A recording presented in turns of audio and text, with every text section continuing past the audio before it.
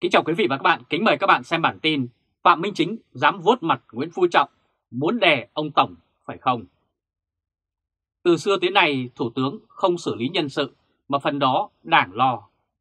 Ông Nguyễn Tấn Dũng khi đó, khi còn là Thủ tướng, ông ta đã nói trước Quốc hội rằng ông chưa hề xử lý một cá nhân nào và Thủ tướng Phạm Văn Đồng suốt 30 năm cũng không xử lý một ai.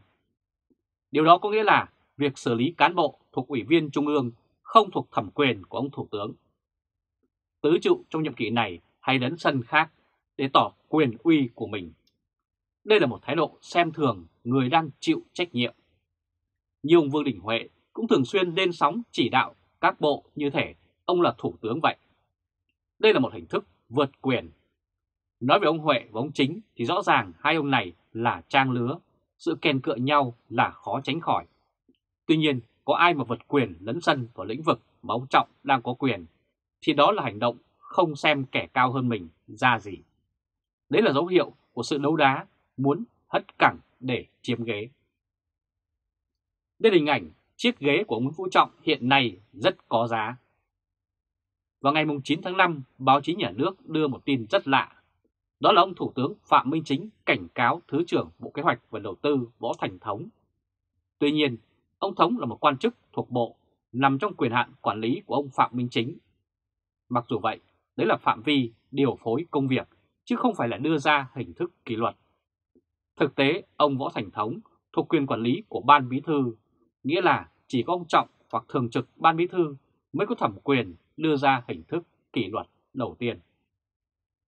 Được biết, ông Thứ trưởng Bộ Kế hoạch và Đầu tư Võ Thành Thống bị cảnh cáo do đã có hành vi vi phạm khuyết điểm trong công tác. Vào ngày 9 tháng 5, ông Phạm Minh Chính đã ký quyết định về việc thi hành kỷ luật đối với ông Võ Thành Thống, Thứ trưởng Bộ Kế hoạch và Đầu tư, nguyên Chủ tịch Ủy ban nhân dân thành phố Cần Thơ, nhiệm kỳ 2016-2021. Theo đó, Thủ tướng quyết định thi hành kỷ luật bằng hình thức cảnh cáo với ông Võ Thành Thống do đã có vi phạm khuyết điểm trong công tác và Ủy ban Kiểm tra Trung ương đã thi hành kỷ luật về mặt đảng. Thời gian thi hành kỷ luật tính từ ngày 19 tháng 1 năm 2022. Đây là hình ảnh ông Phạm Minh Chính đang làm việc thay công việc của Ban Bí Thư. Trước đó, tại kỳ họp thứ 11 của Ủy ban Kiểm tra Trung ương, nhận thấy Ban Cán sự Đảng của Ủy ban Nhân dân thành phố Cần Thơ đã vi phạm nguyên tắc, quy định của Đảng và quy chế làm việc như thiếu trách nhiệm, buông lỏng lãnh đạo, chỉ đạo để Ủy ban Nhân dân thành phố và một số tổ chức cá nhân vi phạm quy định của Đảng, của pháp luật, của nhà nước trong việc mua sắm trang thiết bị y tế, thuốc chữa bệnh, thực hiện theo dự án đầu tư, cải tạo, nâng cấp bệnh viện. Rất nhiều cán bộ, đảng viên đã bị kỷ luật và một số đã bị xử lý hình sự. Tuy nhiên, quan chức của đảng ngày một giàu lên, dường như họ chẳng sợ những án kỷ luật đó.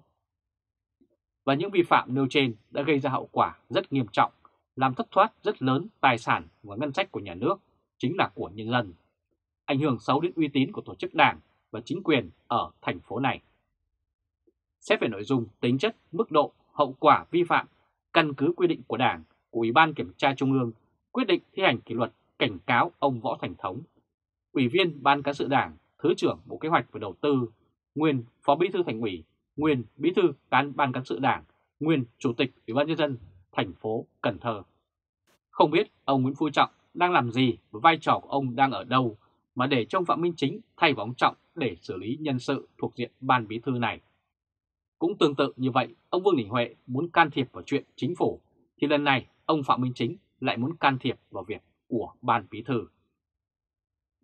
Đây là hình ảnh ông Phạm Minh Chính, người đang có rất nhiều tham vọng trong thời gian tới. Đây là dấu hiệu cho thấy ông Phạm Minh Chính đang có tham vọng rất lớn. Chiếc ghế quyền lực của ông Trọng là quá lớn và làm cho bất kỳ nhân vật nào trong Đảng Cộng sản Việt Nam, đặc biệt là các tứ trụ hiện nay rất thèm muốn. Nội bộ của Đảng Cộng sản Việt Nam hứa hẹn sẽ có rất nhiều cuộc đấu đá khốc liệt hơn trong thời gian tới. Và kết thúc hội nghị Trung ương 5 xem ra chưa ai lay được ông Trọng. Và liệu rằng từ đây cho đến hết nhiệm kỳ của mình, ông Phạm Minh Chính có lay được ông Trọng ra khỏi chiếc ghế hay không thì tùy thuộc vào hoàn cảnh cũng như khả năng của ông ta.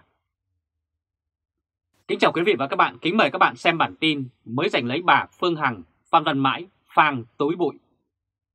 Như tờ Thời báo chấm đã đưa tin, chỉ vì muốn trả thù ông Phan Văn Mãi đã giành lấy quyền ưu tiên bắt giữ bà Nguyễn Phương Hằng bằng mọi giá.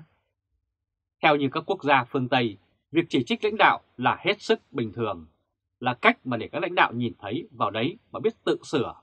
Tuy nhiên, ở Việt Nam, đây là sứ độc tài nên mọi lời chỉ trích đều bị quy chụp là phạm tội và bắt giữ như là đòn thù để bịt miệng những ai dám phạm thượng, chỉ trích bề trên. Đây là hình ảnh ông Phan Văn Mãi, Chủ tịch Ủy ban nhân dân thành phố Hồ Chí Minh. Việc ông Phan Văn Mãi cho bắt bà Nguyễn Phương Hằng chỉ hai ngày sau khi bà phát truyền hình trực tiếp livestream chỉ trích ông ta, thì điều đó cho thấy bản chất tư thủ của ông Chủ tịch Ủy ban nhân dân thành phố Hồ Chí Minh nó sâu nặng như thế nào. Ông Phan Văn Mãi là người từng gần gũi với vợ chồng Huỳnh Uy Dũng, Nguyễn Phương Hằng khi ông còn này còn là bí thư tỉnh Bến Tre. Tuy nhiên, việc bà Nguyễn Phương Hằng tố ông Võ Hoàng Yên thì ông Phan Văn Mãi đứng ngồi không yên, bởi chính ông Phan Văn Mãi và ông Võ Hoàng Yên cũng có mối quan hệ rất đặc biệt. Chính nhờ ông Võ Hoàng Yên mà ông Phan Văn Mãi mới kết nối được với vợ chồng Huỳnh Uy Dũng, Nguyễn Phương Hằng. Và việc gì phải đến nó sẽ đến. Khi tố ông Võ Hoàng Yên thì trước sau gì bà Hằng cũng moi ra những tiêu cực của ông Phan Văn Mãi.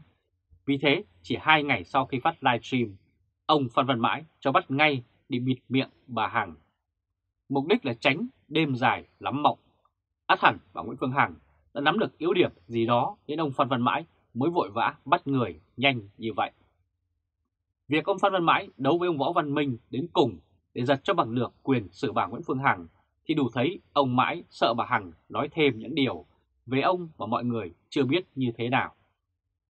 May là ông Mãi ra tay trước bắt bà Hằng, chứ nếu chậm bà Hằng mà rơi vào tay ông Võ Văn Minh thì chuyện thâm cung bí sử của ông Mãi sẽ bay ra Hà Nội. Chính vì sự lo ngại như vậy, ông Phan Văn Mãi mới cho vét sạch những người nào giúp bà Hằng phát livestream. Đây là cách bắt hết để không còn ai dám hé răng bất cứ chuyện gì nếu bà Phương Hằng đã kể cho họ. Đây là hình ảnh ông Phan Văn Mãi phang mạnh vào hang ổ bà Hằng. Vào ngày 7 tháng 5, ông Nguyễn Sĩ Quang, Phó Giám đốc Công an Thành phố Hồ Chí Minh đã lên tiếng đòi xử lý nghiêm những người liên quan đến vụ án Nguyễn Phương Hằng.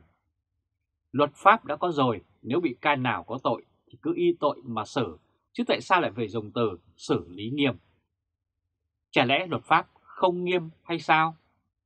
Hay là việc đòi xử lý thật nặng những ai liên quan đến bà Nguyễn Phương Hằng là ý kiến riêng của ông Phan Văn Mãi đây? Có thể nói, vì hậm hực bà Nguyễn Phương Hằng, ông Phan Văn Mãi đã chỉ đạo công an thành phố Hồ Chí Minh phang thẳng vào những người đã gần gũi với bà Hằng trong quá trình bà Hằng phát livestream tố cáo.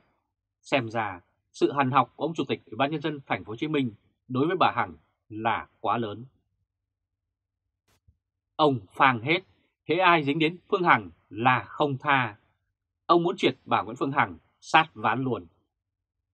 Ông Nguyễn Sĩ Quang cũng nói rằng quyền tự do dân chủ được quy định trong các văn bản pháp luật và thể hiện sự tự do dân chủ. Tuy nhiên, ông lại khẳng định không thể dùng quyền này xâm phạm lợi ích, quyền riêng tư, quyền nhân dân, thân nhân và quyền lợi khác của nhà nước, của người dân. Lời nói của ông Quang nghe qua thì có vẻ hợp lý, tuy nhiên trong trường hợp bà Nguyễn Phương Hằng có điều không hợp lý.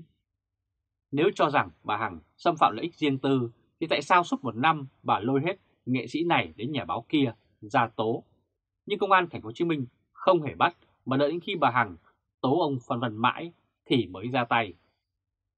Đây là ẩn khúc rất lớn mà Nguyễn Sĩ Quang đã không cho người dân lời giải thích đầy đủ và thỏa đáng. Đây là hành động tư thủ đúng hơn là công lý. Đây hình ảnh bà Nguyễn Phương Hằng có phải là nạn nhân của tư thủ hay không? Càng ngày, vụ án của bà Nguyễn Phương Hằng đã làm bộc lộ lên bản chất của ông Phan Văn Mãi. Với quyền lực quá lớn, sẽ không có ai tố cáo được ông Mãi như bà Hằng làm được nữa. Tuy nhiên, về hình ảnh quan chức thì không thể nào che đậy được. Hình ảnh quan chức chính quyền bây giờ không bao giờ chấp nhận chỉ trích, dung dưỡng cho những sai phạm cá nhân và dập tắt tiếng nói tố cáo của bất kỳ người dân nào trong cả nước.